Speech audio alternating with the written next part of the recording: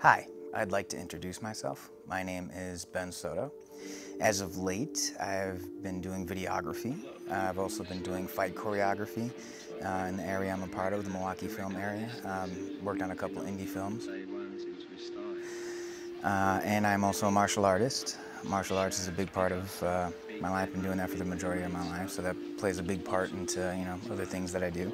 And I'm also a personal trainer, uh, ACE certified personal trainer, uh, certified health coach, certified orthopedic exercise specialist, and certified fitness nutrition specialist. Been certified since 2012, and I've worked with a wide variety of people. Um, all walks of life, different backgrounds, different needs, different goals. So a lot of experience in that arena. And um, when COVID hit, I lost my job, right? Uh, I was in denial at first. I figured things would go back to normal within a month, if that, but um, it's not the way things turned out, obviously, and it impacted me like it's impacted a lot of people um, around the world, right? And since then, I've been finding my new path, figuring out what I'm doing, what I'm going to do, uh, what I have been doing.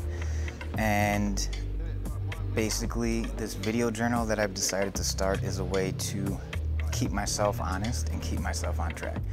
Because over the, the past year, I've been admittedly battling depression, um, getting myself out of that mindset. There's been some weight gain, there's been a lot of bad habits that have crept back in, and this is a course correction for me. So the video journal um, is intended to help me get back on track, um, documenting the workouts that I'm doing, and I'm sharing those workouts sharing my experiences, but not only the workouts, but sharing the things that uh, impact my emotional health, you know, my mental health. So the martial arts training is a big facet of that. As I said, I've been doing that for the majority of my life. Uh, writing, um, I have a few books out there, so um, feel free to check those out if you desire. And um, just what my process is like with that as an indie writer and, and doing that.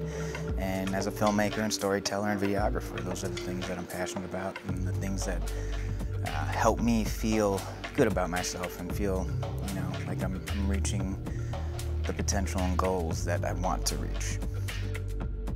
Um, as far as the health aspect goes, um, getting that back on track is important. Um, to me, working out is, is kind of like, you know, it's my moment of zen. It's my place to go, to meditate through movement, through exercises, to relieve stress, and to focus on the things that are important to me and with this video journal to be able to inspire other people to find those things in their lives.